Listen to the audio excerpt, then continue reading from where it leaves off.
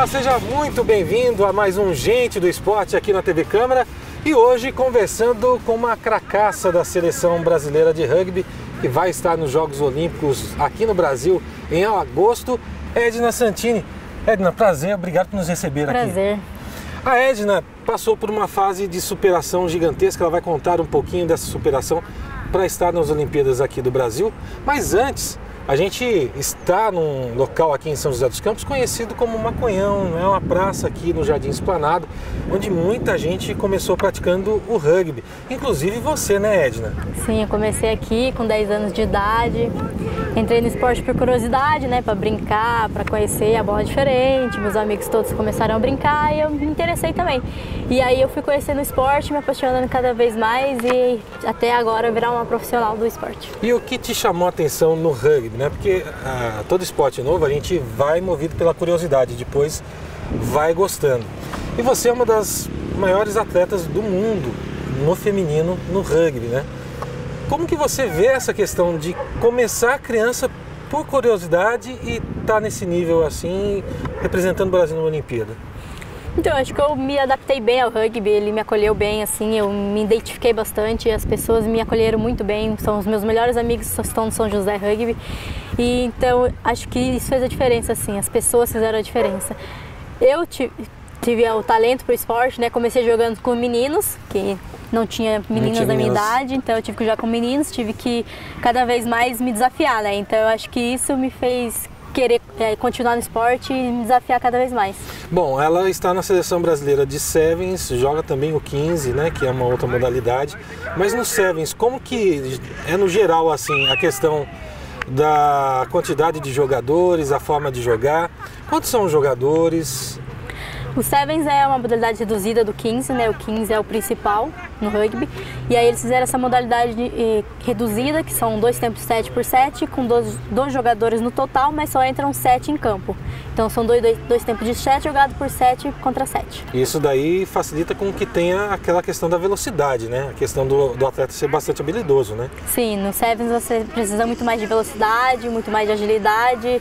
É um jogo muito mais corrido e mais limpo de se ver também. Se você for ver o 15, é uma coisa mais muito, muito grupo, assim, tem muita gente no campo. Você acaba sendo poluído, assim, o jogo, assim, na pra ver, assim, pra quem não conhece, né? Porque quem conhece sabe o que tá acontecendo, mas pra quem nunca viu, assistir um jogo de Seven pra conhecer as, as regras, as coisas, é bem melhor.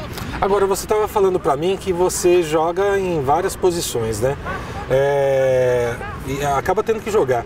Mas qual que é a divisão básica dos jogadores no rugby? A gente sabe que no futebol você tem o atacante, você tem o defensor, você tem aquele cara que pensa o meio campo. No rugby, como isso funciona? No rugby, todo mundo ataca e todo mundo defende. Então não tem essa divisão quem é o atacante quem é o defensor. Mas a gente tem a divisão de forwards e linhas. Os forwards são os jogadores mais grandes, maiores, com mais força, que vão fazer as formações e disputar bo a bola, quando ela é colocada em disputa. Os, os backs são os que correm, que faz a jogada, são os mais ágeis, aquele que é, é, tá ali para definir o jogo, né? para fazer o try, correr o campo inteiro e fazer o try. Agora, no seu caso, a gente vê algumas imagens, inclusive recuperando algumas que a gente vê na tela, você tem uma característica de velocidade impressionante, né? É, foi difícil desenvolver essa questão, a questão de genética? Alguém já falou isso para você? Sim, eu tenho essa, tenho essa velocidade, tenho uma boa agilidade também, por isso que eu jogo na posição de half scrum, que é uma posição que está sempre ali ágil, está em cima da bola, distribuindo a bola em campo, correndo o tempo todo. E já me falaram assim que eu tenho essa uma boa velocidade, que se eu tivesse trabalhado ela com atletismo eu seria muito mais rápida. Só que eu fui direto pro rugby, não passei nessa fase do atletismo, então é curioso, né, saber que eu poderia ser muito mais rápido se eu tivesse trabalhado ela da forma correta. É, às vezes faltou aqui para alguns é, atletas, não que tenha faltado, o Brasil não tinha evolução necessária ainda nesse desenvolvimento do esporte, né? Sim. Hoje a gente tem um pouco mais a questão da fisiologia bem avançada, o acompanhamento é, fisiológico, biológico dos atletas mais em dia. Mas isso acabou fazendo falta para essa turminha que chegou agora e Sim. não tem essa preparação adequada, né? Sim, claro. Agora, Edna, São José Rugby, São José é a capital do rugby. Como é representar São José no rugby mundial? Ah, é demais, assim, eu acho que para mim estar tá representando a minha cidade, o meu clube é a coisa mais importante assim que tem. Saber que você pode ir lá fora e as pessoas te reconhecer como jogadora do São José. Tem muitos times lá fora que reconhecem o São José como uma grande potência do rugby aqui no Brasil. E para mim é muito gratificante poder fazer parte dessa família, desse grupo aí. Agora, como a seleção brasileira de futebol feminino, que criou a seleção permanente, o rugby também criou essa seleção permanente. Então você está um pouquinho afastada do São José, né? Mas passando os Jogos Olímpicos, volta, volta tudo ao normal, né? Quantas vezes campeã paulista você já foi por aqui? Paulista eu fui uma vez e não estava participando, então praticamente foram minhas amigas que ganharam, mas é, eu me considero campeã porque eu também tive nessa Tava no começo no grupo. Da, do grupo. É. Que bom. Bom, Edna, agora para quem quer começar hoje no rugby, tem opção aqui na cidade? Tem sim, tem opções, muitas opções. Tem para criança, desde os 4, 5 anos de idade, já tem escolinhas, e aí vai até quanto aguentar. 4 anos de idade, quer dizer, sim. se os pais quiserem, então podem escolher o esporte que é, será bem-vindo. Tem toda essa condição de trabalhar uma criança hoje em São José dos Campos para praticar o rugby? Sim, sim. Hoje, hoje o São José oferece escolinhas né, para crianças desenvolver o esporte. É muito importante isso. Quando você vai lá fora, os times lá fora todos têm essa base, então acho que esse é o diferencial também do esporte ser muito mais desenvolvido fora do Brasil do que aqui. Legal. Nós vamos continuar esse bate-papo no segundo bloco com a Edna Santini falando sobre o rugby, as conquistas que ela já teve. Aliás, ela já foi bronze em Toronto e quatro vezes campeã sul-americana. É rapidinho, a gente volta já.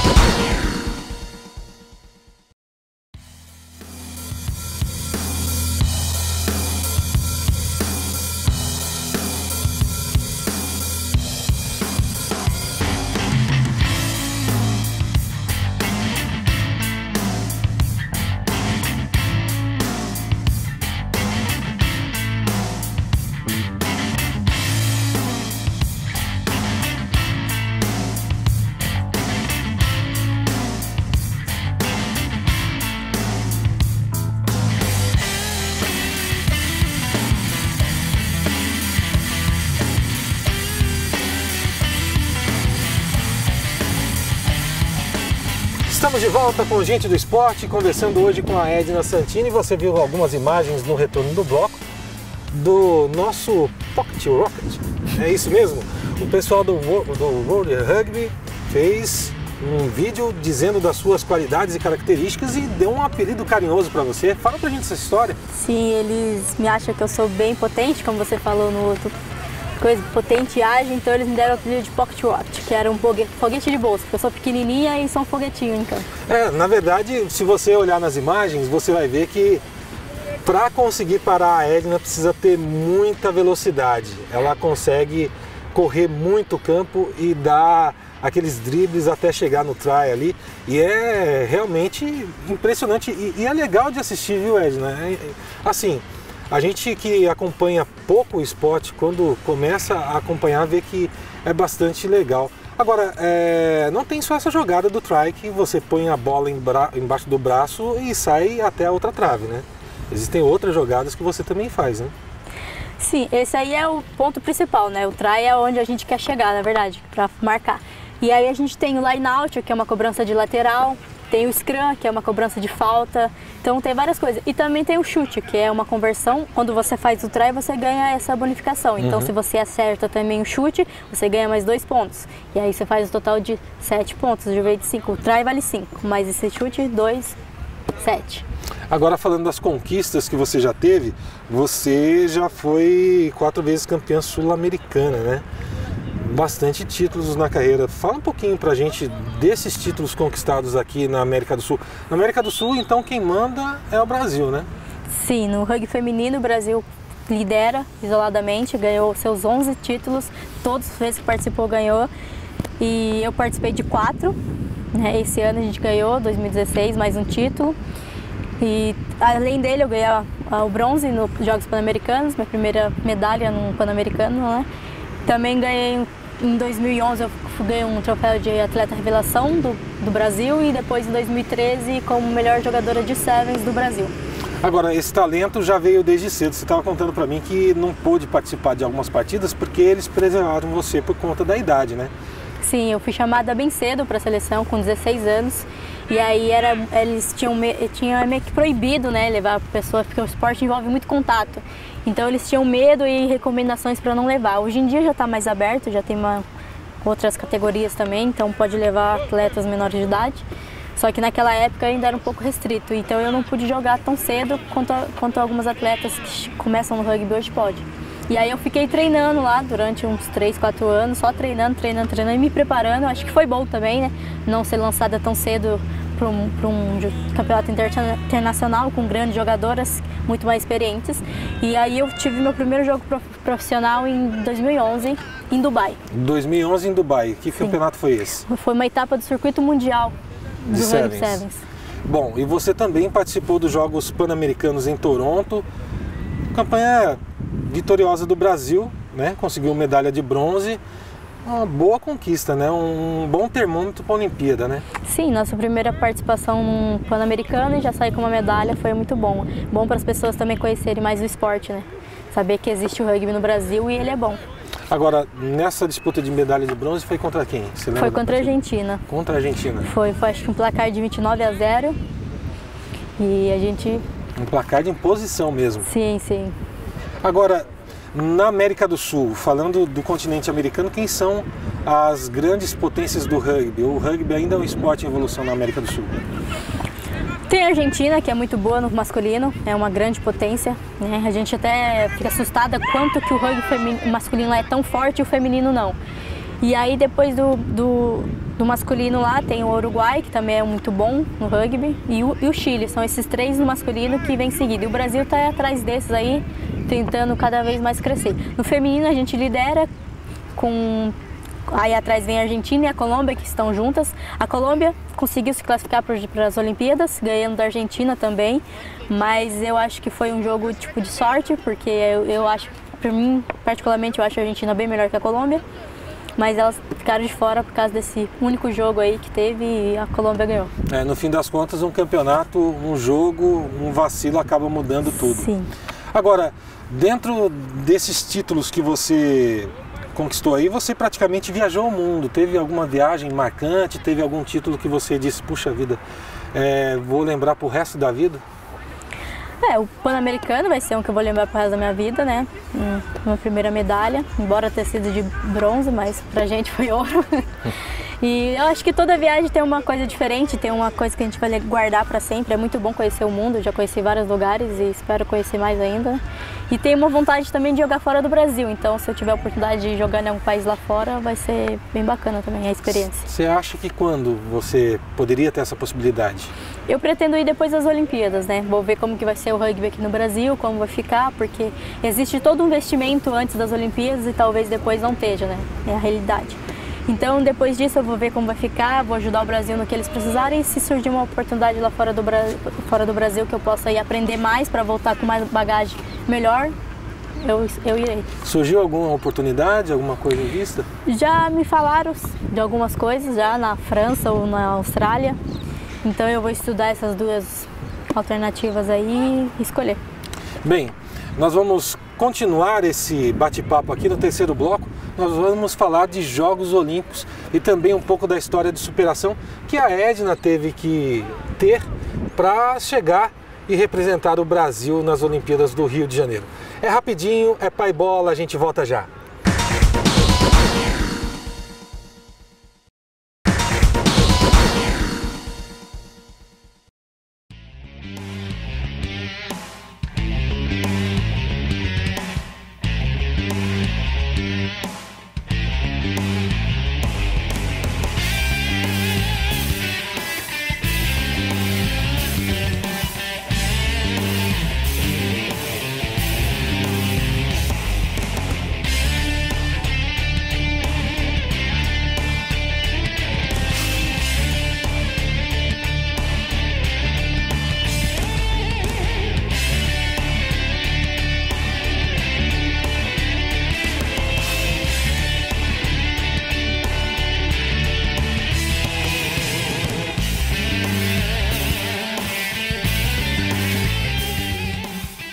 Volta com gente do esporte nesse terceiro bloco, falando com a Edna Santini, falando sobre Olimpíadas e falando de história de superação. A Edna, ela teve uma situação muito séria um pouco antes dos Jogos Olímpicos no ano passado, em que ela teve uma fratura no tornozelo esquerdo, Edna. Como que isso aconteceu? É, eu quebrei em Hong Kong, bem longe, né? A gente estava participando de uma etapa do, do, circuito mundial, mas era um qualify. A gente estava participando de uma qualificatória para jogar o circuito mundial. E aí, em, em uns jogos, contra o time de Hong Kong mesmo, eu fui fazer um try e eu demorei um pouquinho para decidir como que eu ia fazer esse try, se eu ia me jogar, se eu ia cair, se eu ia colocar em pé. E aí a menina me deu uma carga que me virou meu pé ao contrário e aí quebrou. Acabou fazendo um movimento é, que não era o natural, aquele que você estava acostumado a fazer, acabou quebrando, né? Sim. Você passou por uma cirurgia. Cirurgia, você colocou sete pinos. Sim, coloquei sete para pinos e uma placa. E também operei os ligamentos. Então tem uma âncora também segurando os meus ligamentos que estouraram. Aí você teve que refazer essa cirurgia? Tive que refazer outra cirurgia para tirar o pino maior que segurava os dois ossos. Que se esse pino quebrasse, ele ficava incomodando depois para me jogar essas coisas. Então eu tinha que tirar ele inteiro ainda. Agora, foi bem em cima das avaliações da seleção brasileira para que fizesse as convocações para os Jogos Olímpicos. E essa tensão de de repente estar fora dos Jogos do Rio de Janeiro. Como você encarou isso?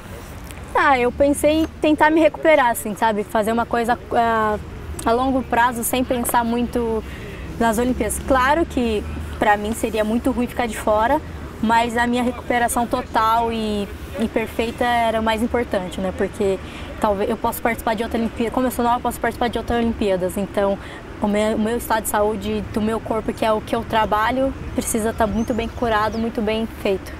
Agora, uh, foi um certo alívio quando você recebeu a notícia que você estava convocada, né? Conta um pouquinho pra gente desse momento. Como que foi? Sim, então eu fiz todo o trabalho de reabilitação muito bem feito. É, trabalhei a minha musculatura tudo de novo, ganhei confiança e aí fui convocada para um jogo, né? E aí eles me testaram nesse jogo e viram que eu estava bem, que eu conseguia jogar normal, tudo. E aí, através de treinamentos, mais jogos, foi fechando o grupo e eu fui ganhando a minha vaga entre as 20 ainda que tem, né? São 12 ainda, então falta ainda uma lista final aí. Espero estar dentro, né? Agora, Edna, a sua família tem uma participação decisiva nessa sua carreira, né? Nesse momento ainda mais, né? Sua mãe, seu pai, Dona Luzia. Sim, minha mãe ela participou bastante da minha carreira aqui no São José. Ela lavou todos os uniformes de todos os times do São José, então ela, ela é bem envolvida no rugby de São José.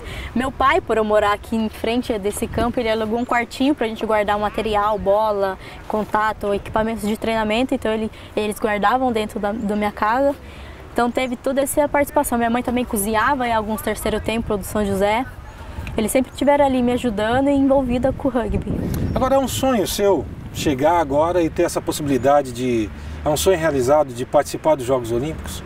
Sim, sim. Acho que uma, todo atleta sonha em participar dos melhores, dos maiores campeonatos do mundo, né? Que Copa do Mundo, é, Circuito Mundial, Olimpíadas, Pan-Americanas são grandes eventos que todo atleta quer participar. Então, para mim, não vai ser diferente. Vai ser incrível participar, representar o país, representar a minha cidade. E desse torneio que a gente vai ter olímpico, quais são as grandes é, potências que a gente vai ver jogando aqui que serão grandes desafios para o Brasil?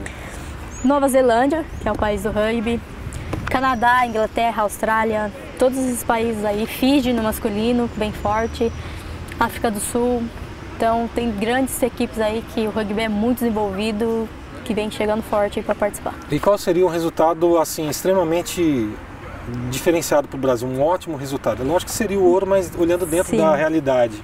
Em quinto lugar, acho que já seria de bom tamanho assim, para a nossa realidade. Para o rugby ainda está muito novo, assim, crescendo agora, tendo uma Olimpíadas agora tão próxima do nosso desenvolvimento. Né? A gente começou, a gente se centralizou em três anos.